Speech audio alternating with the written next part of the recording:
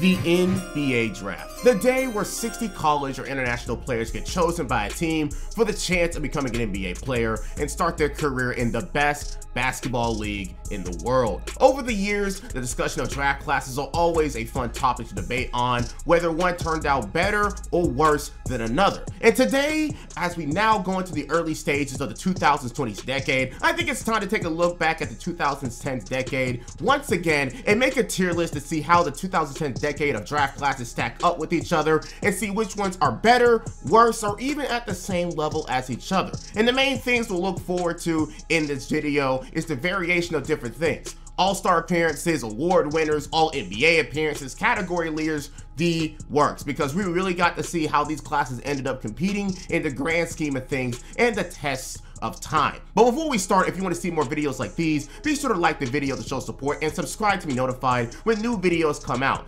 And if you want to see me do the same thing for the 2000s draft class this summer, let's get this video to 1,000 likes and I'll be sure to make it happen. But as usual, this will be a long one, but you already know who it is. Roll! Three, two, one.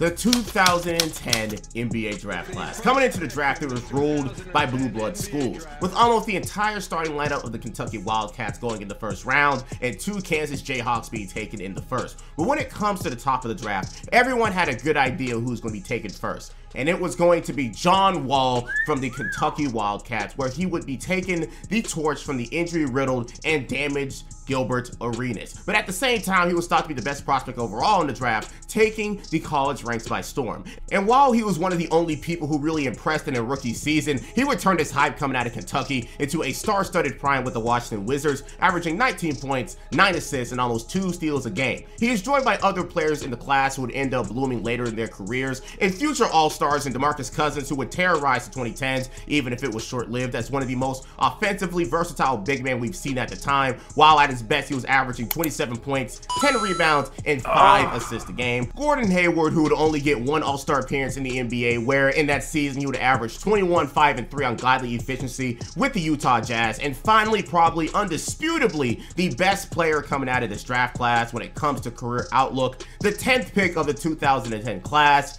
Paul George. Coming into the NBA, he would immediately be given a big role on the Indiana Pacers as they was trying to go after a potential championship with then star Danny Green. But as Danny would consistently get more and more injured, he would become what John Wall was destined to become with the Wizards. The young star with aspirations to carry the team for years and years to come. And that's exactly what he would become as George averaging a career best with Indiana at the time, 23 points, 6 rebounds, and 3 assists a game. But his story doesn't end there with his second stint in OKC, where he would be considered a whole MVP at one point, leading the NBA in steals in the 18-19 season, and now playing right now on the Clippers, still being a top shooting guard candidate in the NBA and going after a championship. But the class doesn't end there when it comes to contributors who make up the entirety of the 2010s class. These two players may not have been all-stars, but at one point they were considered to be the next up until they didn't meet their potential. Firstly, we have the two-time block leader who was brought into the NBA scene, mainly known for this funny clip in a post-game interview. Meet Hassan Whiteside, the 33rd pick of the 2010 draft. His career didn't turn into much after he was drafted by the Kings in the second round, but it picked up by the Heat four years later after he was drafted. But when the Heat found was a player who became the most fiercest block artist in the NBA, leading the NBA twice in blocks per game, where at his highest he averaged 3.7 and even averaged a NBA high 14.1 rebounds a game in the 2016-17 season. And lastly, we have the 18th pick of the 2010 draft. Eric, he got muscles for no reason, Bledsoe. As a late first round pick, sometimes you need to wait around to make your mark in the NBA, and he got his chance to do that in the league. When he was traded to the Phoenix Suns when his tenure, he would average 18 points, 6 assists, and 5 rebounds a game. But at the same time, he made his impact known on the defensive side, being a two-time all-defensive team member. But as you can imagine, if you know much about this class, it was mainly top-heavy in impact and achievements in the league, only producing 4 All-Stars, 3 All-NBA players, and most surprisingly, four all defensive team members in Paul George, Hassan Whiteside, John Wall, and Eric Bledsoe. And outside of producing some really decent starting level talent and like George Monroe and Derrick Favors, the 2010 class is mainly known for one thing when it comes to their stars career-ending injuries. As we know, John Wall was never the same after tearing his Achilles after legit falling in his own home, DeMarcus Cousins sustaining an injury in New Orleans that started his downfall, Gordon Hayward breaking his leg after signing a new deal with the Boston Celtics, and of course, Paul George breaking his leg in the Team USA scrimmage after making his second straight All-Star team. When it comes to their stars, this group of All-Star talent would have been a lot better off on this list if it wasn't for that. And for the two guys who couldn't even make the All-Star status, Hassan Whiteside simply fizzled out of the league after leaving Miami, and Eric Bledsoe had his reputation ruined around the league after his stint in the playoffs with his time in Milwaukee. Even as the first draft class in this video with the best chance to be the highest due to their time spent in the league, compared to other classes we will talk about, the 2010 class will end up with a B in the average category. This class has some real generational talent in John Wall, DeMarcus Cousins, and PG. When you receive a career-ending injury that tanks your career, it already makes a pretty skinny draft class with a lot of middling role players and not a lot of starters look even less impressive. But I'll be fair in the case that we do have to take about the best of these guys' careers and the accolades they created during that time, but we also have to talk about the future of their career. Some of you may disagree, but as we get further into this video, you'll only understand exactly what I mean by that. In the 2010 NBA draft class, I showed you an example of how talent in a class can die out and make for an overall mid or underwhelming draft class. But the next year, the 2011 class, we have something people would call the standard, or what people think the average draft class should be, even though we know it's not going to be this way.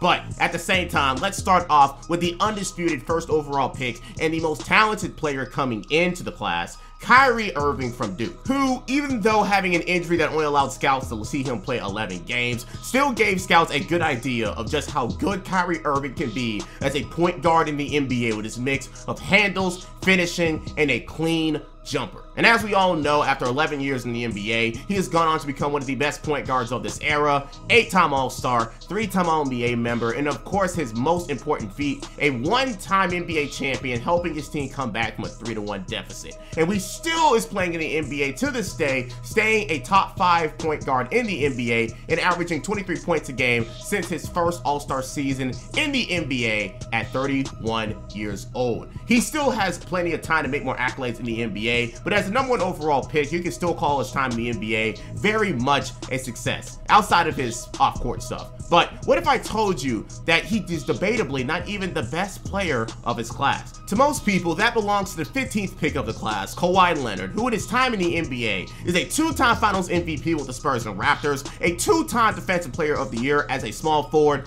five-time All-Star, five-time All-NBA, and one of the best playoff performers of all time who's known for one of the best game winners in playoff history. It's off to Leonard, defended by Simmons. Is this the dagger? But even as classes goes, you still have two players who've won championships and taken over the 2010s. But what about the 11th pick of the class, who's been a main component in one of the best basketball dynasties of all time, in Klay Thompson of the Golden State Warriors, a five-time All-Star, four-time NBA champion, and a two-time All-NBA member, who is currently 11th all-time and made three-pointers. This class continues to be full of all-star type of talent who has eventually found their rhythm late in their careers. Nikola Vucevic, a two-time All-Star, became a staple with the Orlando Magic for many years. Kemba Walker, a one-time All-Star who became the face of Charlotte basketball for the longest time, and it doesn't even end there. With the 30th pick of the draft, you have Jimmy Butler, who even though has had an interesting career so far being moved from team to team with his time with the Bulls, he still gained a plethora of accolades, being a six-time All-Star, four-time All-NBA member, and a five-time All-Defensive Team member. And last but not least, in this class, the 60th pick of the 2011 draft class, Isaiah Thomas, who at one point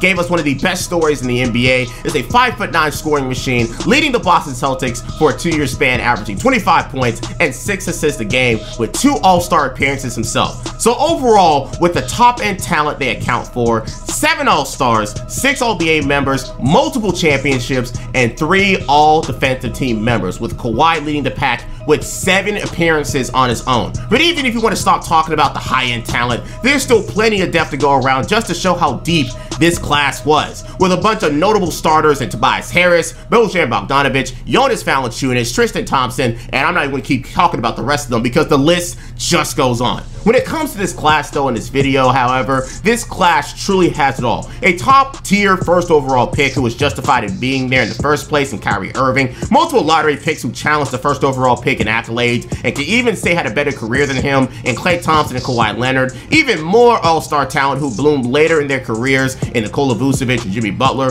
who are seeing right now leading an 8th-seeded team over the first-seeded Bucks and is challenging to make the conference finals over the Knicks and has a finals appearance under his belt as a sole best player, and even their 60th pick, who if it wasn't for injuries could have continued being a viral threat in the NBA, and Isaiah Thomas. The 2011 draft class deserves a lot of flowers for all the all-around prospect it produced, whether it be American-made, from overseas, early picks, late picks, second round picks, it has it all. And accolades to boot to only make their case stronger, which is why I'll be awarding them with the top placement so far in this video in the S tier. It truly doesn't get better than this, but as we go further in the classes, we might see a few who can contend with the depth and star power this class has. The 2012 NBA Draft. Coming into the class day one, a lot of scouts and experts didn't see a lot of upside from players outside of the top five unanimous go-to prospects. And that was mainly due to the class being full of four-year college guys or older talent who, as we always discuss, aren't always seemed as valuable due to the timetable not being in their advantage compared to their 18 or 19 year old counterparts, especially considering how they have to produce quickly or risk being a bad draft pick due to that. But in the top five, two of the five guys would stand out almost immediately as players who would define the class out the gate.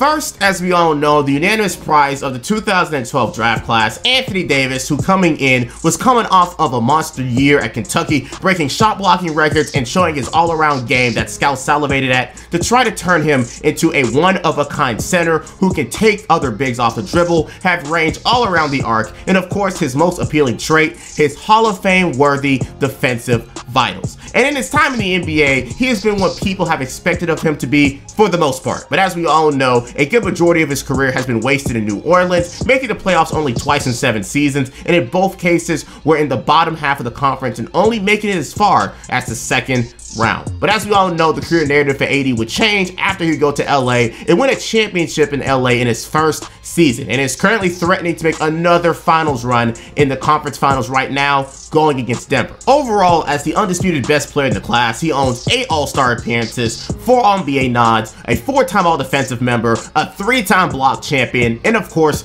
a 1-time NBA champion. But the class continues to have more reputable players, but as stated before, the third spot you already know was a young player who would immediately show promise in Bradley Beal. Now I gotta admit it, he isn't even top three when it comes to best players in this class, but as a three-time All-Star and a two-time 30-point per game scorer, which only 16 other players have ever done in NBA history, he still deserves consideration in this stat class. But for the other two best players in the class, at least in my opinion, that goes to the 6th pick of the class, Damian Lillard, and the 35th pick of the class, and one of the best second round picks of all time, Draymond Green. For Damian and Draymond, their story is relatively similar as for your college players looking to make their mark in the league. But for Damian Lillard as one of the best guards in the college ranks, taking advantage of a weaker guard class, was able to come in to a deteriorating Trailblazers team and become their franchise guard in a few seasons, leading them to many playoff appearances and becoming a seven-time All-Star, six-time All-NBA, and a top 75 player of all time, according to the NBA. And for Draymond as a four-year player at Michigan State, he was drafted in the second round due to his many question marks as an NBA player.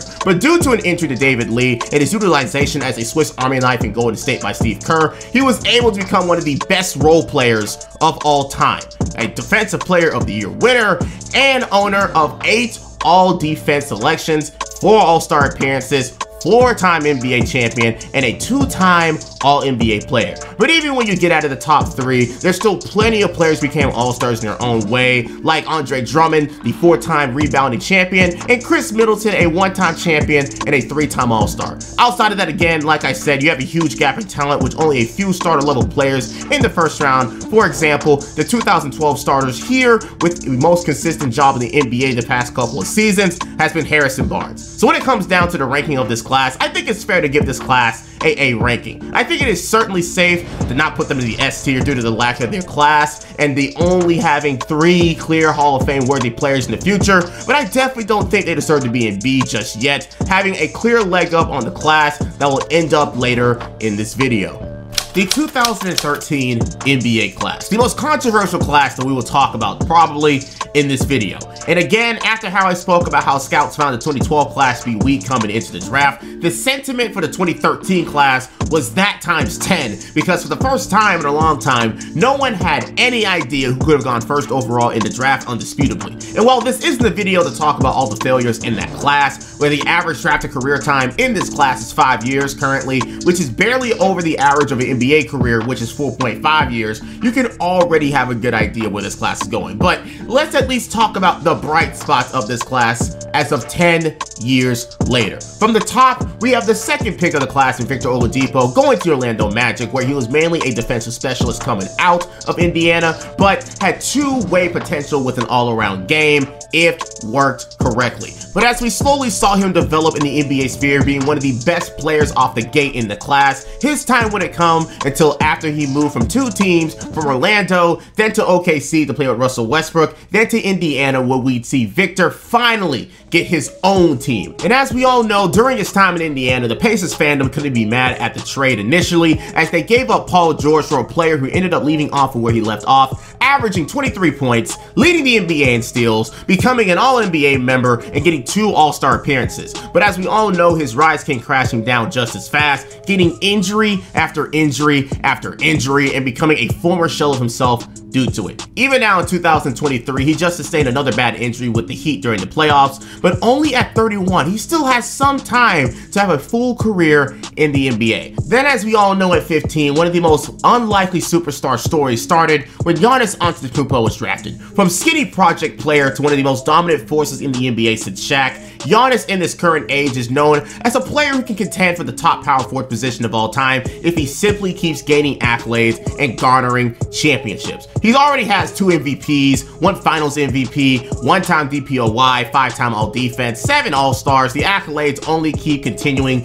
to get bigger and bigger as he continues to dominate this class. But as the clear and undisputed best player in his class, who can even be considered his second best classmate to even try to help this class in the sense of retrospect going against nine other draft classes? Well, the only person who can even try to contend is Rudy Gobert, the 27th pick of the draft. Now, in the NBA sphere, people may call him overrated, but when we look at accolades and see what he's done in the league so far, we cannot deny that he's one of the best paint defenders of our modern age, with three DPOY awards, which puts him in the same club as Dwight Howard, Ben Wallace, and Dikembe Mutombo. Alongside his three All-Star appearances and four All-NBA appearances, he does have the accolades to carve himself a spot in NBA history, at least for his defense. But after that, yeah, this class is pretty bare of talent. And when I say talent in this case, I mean all-stars or fringe all-stars, where the only other person you can speak of in this class is CJ McCollum, who even in his heyday with Portland never got a single award outside of the most improved player award. From there, it's full of starters, but even then that's pretty bare, but Let's just get to the part everybody's waiting for, and the part that everybody knows is coming, D tier. Complete bottom. Not even one of the best players of our modern age can help this class get out of the gutters, but that's mainly due to how bad all around is, with barely any sustainable NBA talent that made real careers in the league. I mean, this shouldn't have been obvious, but I, I had to at least make a case somehow. After the thought to be disappointments of the last two classes, we move along to the 2014 NBA draft class, and that was thought to have some real heavy hitters who were thought to be superstars in the league. And while some of them didn't necessarily hit the marks for one reason or another, whether it be Jabari Parker's constant injuries or Andrew Wiggins being an underwhelming first overall pick in the eyes of NBA fans everywhere, the third overall pick of this class is where we start off a more than deep draft class. And as we all know, the third overall pick of this class was Joel Troel Embiid, who even though came in with a foot injury that would leave him out for his first two NBA seasons, scouts saw something in the Cameroonian I don't even think that's how you pronounce that. Wait a minute.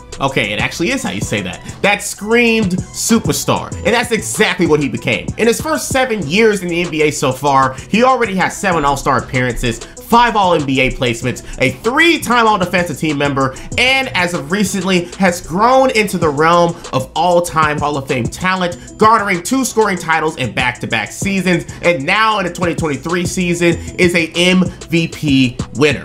How does he pull this off? Well, being one of five centers ever to average 30 points in the season, joining Moses Malone, Wilt Chamberlain, Bob McAdoo, and Kareem Abdul-Jabbar, all Hall of Famers, all all-time talents, and all immortalized in NBA history. And with his knockdown jumper, dominance in the paint, and knack for garnering fouls, which is a you know quality I don't like about him, he will only garner more and more accolades, barring injury, and might be able to stack a few championships on that road. Not this season though, Rip Bozo. But what this class has that rarely any other class does is two MVP winners in the same class, where the last one to ever have one since 2014 class was in 09 with Stephen Curry and James Harden. But in the 2014 class, we have Joel Embiid winning an MVP this year, and the 41st pick of the class, Nikola Jokic, who already has two of them. Coming into the NBA as a second round pick, Jokic was doubted due to his slowness and non-agile nature. But as his European-centered game slowly gotten better and better, his dominance only grown, and his career so far shows for itself. A five-time All-Star, five-time All-NBA member, and again, a two-time MVP, while also having the sixth most triple-doubles in NBA history.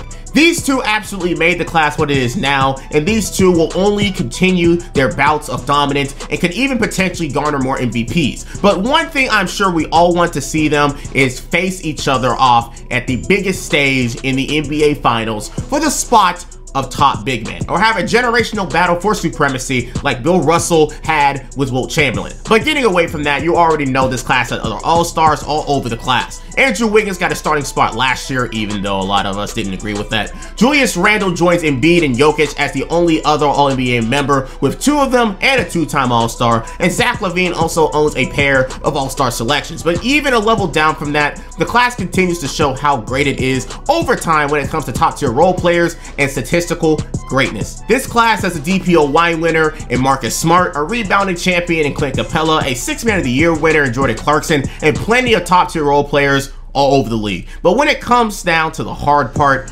where does this class rank on the tier list? You have two MVPs that share a draft class together and a few other All-Stars in there, but compared to the 2011 class with four guaranteed Hall of Famers in the future, is it safe to compare them together?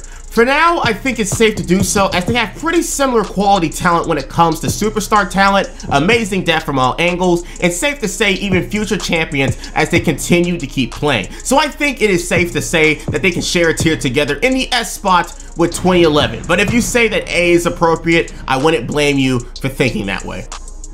Coming into the 2015 NBA draft, we have another situation where scouts were not the highest on a lot of the players in the draft itself and its depth. Unlike in some classes where they are appraised for their potential all-star level talent even outside of the top 10, some classes don't have the luxury, and the 2015 class is certainly one of them. But to its credit, it does have a rifle and worthy first overall pick that was guessed to go there on most draft boards, and that person was Karl Anthony Towns. Karl Anthony Towns was thought to be the first center coming into the NBA, or at least through the draft, to change the position of the center spot towards its current trajectory. Being able to take other centers off the dribble, have the potential to increase his range to the three-point line, and of course being able to bang bodies in the paint and defend the paint as a 7-foot 250 pound center. And to his credit, as one of the best players in the class, he has absolutely defended his first overall placement by being a three-time All-Star and a two-time All-NBA member. But outside of that, he is struggling in more ways than one to help his own legacy due to a lack of actual success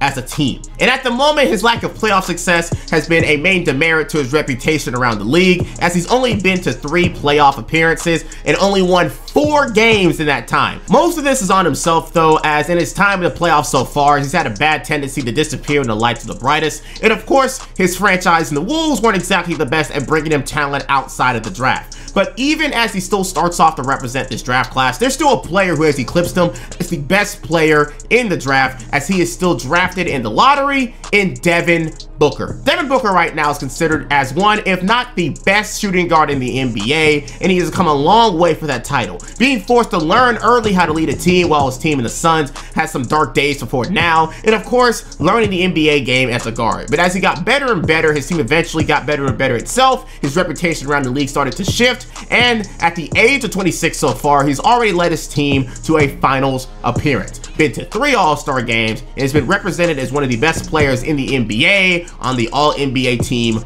once. And lastly, as one of the biggest questions in the draft at the time with the fourth pick in the class, we have Kristaps Porzingis, who even though booed and heckled at draft night, was able to come in immediately to the city of New York and show the NBA that the slight seven foot frame that he has was able to dominate in the NBA given some time. And already owning an all-star appearance in his third year as a pro, the sky was perceived to be the limit for him as the new eighth center, just like his classmate Karl-Anthony Towns. But as we all know, as injuries would start to pile up and more and more failed situations continue to occur, Kristaps' name in the NBA sphere has become more and more quiet. But at least now, after the 2023 season, we're starting to see a little bit of a redemption era after his time in Dallas, putting up career best in Washington scoring lines. And also, you do have to consider other flash-in-the-pan people like Kristaps and D'Angelo Russell, who at one point was seen as the next big guard after his breakout season in Brooklyn, where he would earn his one and only All-Star appearance, but is now used used as an above average starting point guard. But the optimism in this class stops there, as the more and more you look at this class, the more and more you notice the names that had big name potential, but didn't work out at all. From there, the players with accolades are only limited to a two-time block leader, Miles Turner, who has yet to get an all-defense appearance despite that, and weirdly enough, a six-man of the year winner, Montrezl Harrell, and then poof, nothing more. You can argue that maybe with time the narrative of this class will change, but as of the time of right now in this video, only 17 players with real roles in the NBA are from this class. 15 players who didn't even play in the NBA in this class also reside here, and many, many more failed NBA careers in the ranks alongside them. So when it comes down to ranking them, where would you put them? You have a class currently with only one debatable Hall of Fame level talent and a few all-stars sprinkled in. One who can make it year after year if he wanted to, and two who only made it once to not then be on that same level playing wise anymore. Then from there, you have a few memorable players, a lot of busts, and again, one of the worst classes when it comes to producing NBA players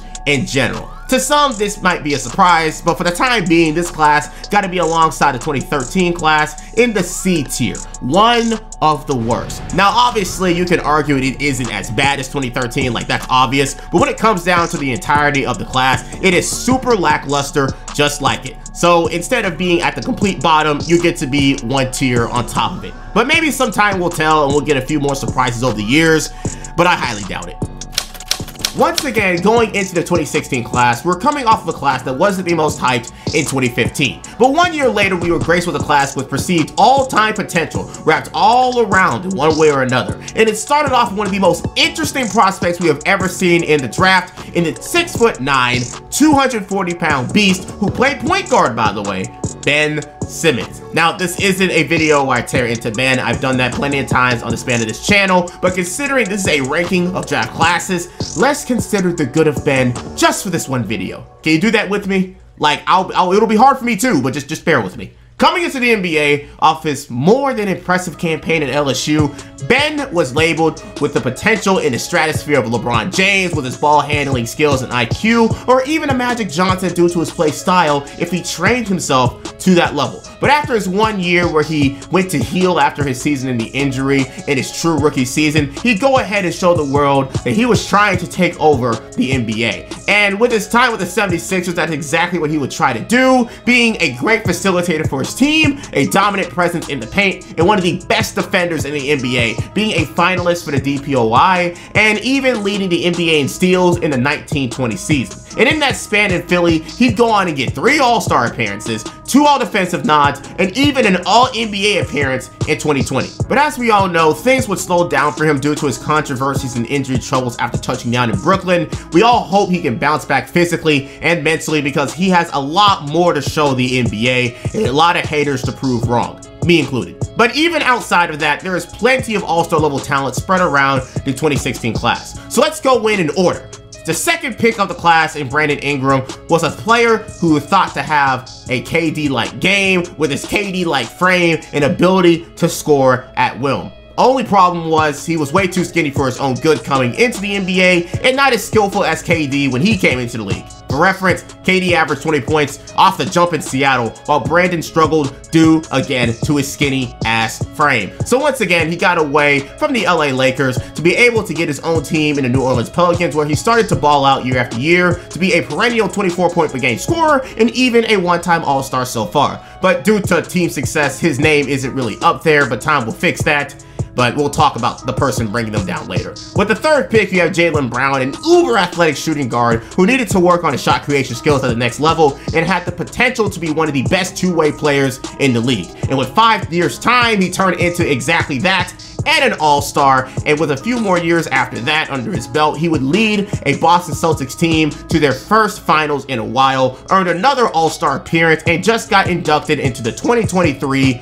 all NBA second team. So you know his resume will only grow with time itself. And at the 11th spot, we have Domantas Sabonis, who would get his claim and prominence in Indiana after being traded for Paul George, where he went and developed into one of the best passing big men in the NBA, a double-double, or even sometimes a triple-double threat every night, and now with the Kings, a all-NBA member, and a three-time All-Star and this current season's rebounding champion. Even outside of the lottery, you still have Pascal Siakam and DeJounte Murray, who both took some time to truly become the young stars that they are, with Pascal winning MIP in his third season in NBA and then becoming an All-Star twice, winning All-NBA twice, and of course, being a very vital part of a championship run as a one-time champion. And for DeJounte, being in the Spurs development camp usually yields results, and he's no exception, becoming an all-around threat growing year by year until he took over the starting point guard spot in San Antonio, where he turned into an all-star, became a steals champion last year, and is leading a very promising career right now. Sucks it's with Trae Young in Atlanta, but hey,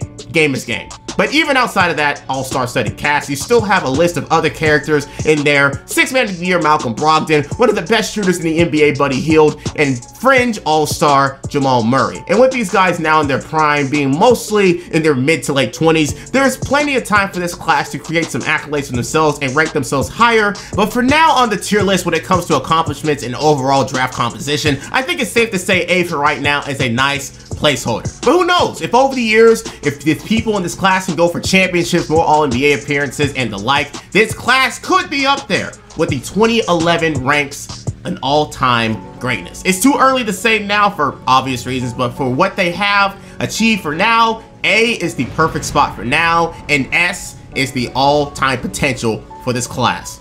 In a video I made almost half a year ago, I called the 2016 high school basketball class one of the best we've seen in our modern time. And the points I made in that video only confirm more and more just how good that class transitioned in the NBA, with over 80% of the first round being freshman talent looking for a place in the NBA. But the one who went number one overall to represent the class ended up being the electric and dominant Markelle Fultz, who was thought to have superstar talent the way he took over the college ranks. Unfortunately, as we know, he'd have an interesting journey in the NBA with mysterious injuries and even a shoulder injury that caused him to forget his own jump shot and have to start back from scratch in that area of basketball, among other things. But now in Orlando, he is currently building himself back up to be potentially back to his thought to be projection. But even with that weird career of Markelle Fultz, the 2017 class has talent all around that would overshadow one of the weirdest number one overall picks of all time. So let's start off with the most successful player in this class right now, in Jayson Tatum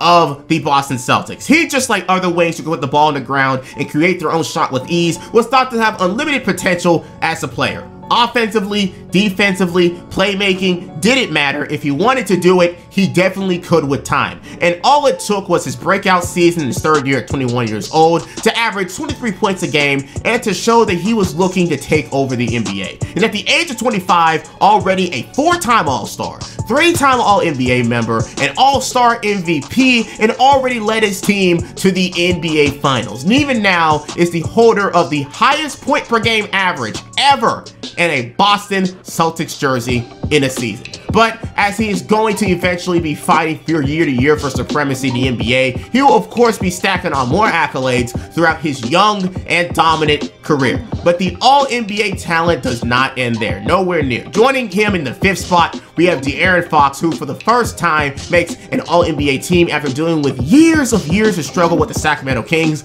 And as a slight plug, you can watch the complete history of their 16 years of missing the playoffs here if you would like to know about how much shit he had to go through in his young career. But Fox has always been one of the better point guards in the NBA in my opinion, but he has patiently been waiting for a core to be built around him to take over the NBA. And finally in his sixth season, he was able to reach the status of All-Star, made an All-NBA team in the third team this year, and be the first winner of the NBA's Clutch Award. Now listen, if you don't take that award seriously, believe me, I don't either. But someone who's already had a more impressive NBA career over Fox has been the 13th pick of this draft, Donovan Mitchell, who as soon as he hit the NBA ranks, was able to average 20 points a game and lead his team to five straight playoff appearances and continuously be an all-star. But now with the Cavaliers, who's able to reach the status of his first All-NBA appearance after being shafted in that side of the game, averaging a career high 28 points a game and logging in the eighth most points in NBA game with 71 being up there with the likes of Damian Lillard, Elgin Baylor, and David Robinson. But even outside of the All-NBA talent, you still have plenty of All-Star talent all around the class. Starting off with Bam Adebayo, one of the best defensive bigs in the NBA with four All-Defensive appearances and two All-Star appearances with a complete game. Jarrett Allen, who's one of the most underrated bigs in the NBA, who was able to get his first All-Star appearance last season, averaging a career high in points and rebounds. And finally, a name you'll probably be hearing a whole lot more in the coming years, Lauri Markkanen, the seventh pick, who is dealing with a more than interesting start to his career, is now able to start anew in Utah to where he just earned his first All-Star appearance, averaging a career best in points with 25 a game on his best shooting splits as a pro. And at the age of 26, he has got plenty of more time to keep giving the NBA his best play to eventually work towards an All-NBA spot and even more in the right circumstances. And remember, this class was only drafted six years ago, and there are plenty of people who are able to achieve the highest marks of the NBA already. But even then, you still have a plethora of mainstays on teams who continue to show how stacked this class is. OG Anunoby is steals leader this year and an all-defense member. Markelle Fultz, again, who we mentioned before, who we expect to come back to all-star status at his own pace. Kyle Kuzma, who turned himself into a consistent 20-point per game scorer this year. And even Derrick White made his first all-defensive team this year. There's probably a whole lot more to talk about, but we'd be here all day. But when it comes down to it, we're looking at a group of guys who can continue to become perennial all-stars, especially as the older stars start to phase out in the future of the NBA. And with the level of play they're already showing us so far in their young careers, I think it's best for now to again put them in the A tier alongside all the other young classes with so much more upside to show and already showing how much they have done in such a short amount of time. We just got done talking about one class that absolutely exceeded expectations with the talent they have and how they went about succeeding so early in their careers. But the next year you have them do it again in the 2018 class. How so? Well, it was headlined by the seven foot and strong as an ox, DeAndre Ayton. But as we all know, he hasn't done much on the team that he's on right now, since he hasn't been the main guy at all, leading a pretty underwhelming number one overall pick campaign. No, the main mystery of the draft was the six foot seven point guard from Slovenia, a European MVP at 18, and the basketball prodigy, Luka Doncic. Even though he went third overall, people all over wondered just how this kid would translate in the NBA with his unorthodox game, at least as a guard. And I only say that since the NBA is based on speed and agility. And Luka isn't exactly, you know, speedy nor that agile. Basically, if Jokic was a guard is the best way to describe it. But he was able to figure out how to dominate in the EuroLeague circuit at such a young age and an underdeveloped body. But as soon as he touched the NBA, everyone knew he'd be a star with LeBron-like trajectory in his career, where in five seasons he's already made four All-Star appearances and four All-NBA selections, and already led his team to conference finals. Adding on to the fact that he's officially part of the 30-point per game club in NBA history, his pace is easily on that of Hall of Fame level or even best of all time talks in his position or this age if and only if he can go about winning championships and the like. But while already having a GOAT candidate in this class, how else can you talk up this class? Well, you can add more all-star level talent. The pick behind him and Jaren Jackson Jr. made his first all-star game this season with more incoming as he continues to improve offensively. But even with that, he came in with defense in mind and is already dominating on that side with two all-defensive teams teams and leading the NBA in blocks twice in only five years of service so far. And you already know where we keep going. To add the cherry on top, he won his first ever DPOY title this year, averaging three blocks a game and almost leading the NBA in total blocks, even though he missed 19 games this season. From there, you still have first-time All-Star Shai Gilgeous-Alexander, who improved year after year with the Thunder, with him this year averaging 30 points a game, over 50% shooting, which is absolute dominance, and has plenty of more time in the NBA to keep up that type of play. And finally, the last All-Star in this class, one of the best playmakers in the class, in Trae Young, with already multiple All-Star selections, an All-NBA selection last year, and even then, the class just keeps getting deeper. We're going to have to wait and see for Jalen Brunson to make his first All-Star appearance in the coming years, being a snub this season. Mikal Bridges, after being traded from the Suns to Brooklyn, is now going to be looking for an All-Star spot next season, seeing how he easily turned into a first option after being traded, and plenty of highly touted starters literally in this class. MPJ, Collin Sexton if he can shake off the injury bug he's been dealing with, Miles Bridges if he can avoid well, domestic abuse cases, DeAndre Ayton eventually, and plenty of more names. So with that, this class has achieved in such a small amount of time and how much they are projected to do in their careers, how is it not fair to not put them in the A tier? Being led by a person people consider as a potential GOAT candidate and plenty of all-around talent year by year and other all-stars should only speak for itself how this class can do in a decade's time. But in the case of this video, they already shown enough to easily count them as a A tier class in their current form.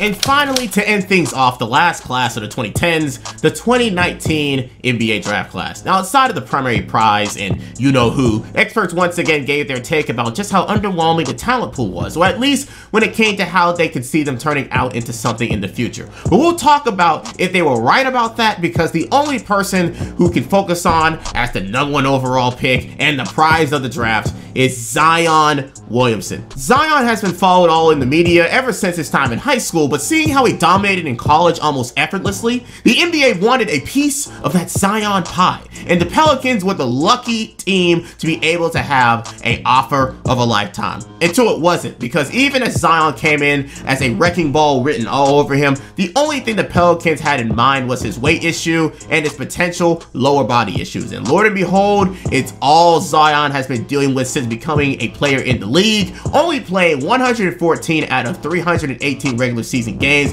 with injuries in his lower body keeping him out of any real consistent play and keeping him out of the playoffs twice with his team. When he plays in the actual game, he's the two-time All-Star people expect him to be. It even led the Western wins as the first seed at one point this season. But when he's gone, his team suffers immensely. And I can't imagine what the franchise thinks as they even put a weight stipulation in his contract to incentivize good health. As of now, we know exactly what Zion can do at his best, but we haven't seen it for a long enough time to warrant any real talks about what he can do in the league. But even with him dealing with his issues, we still have someone we can crown as the best player in the class as of right now, and that person is Ja Gritty Man Morant, who since his third season has shown the NBA that he is a household name with electrifying plays and great team around him, already being a two-time All-Star and getting an All-NBA nod last season. All of this in only year four.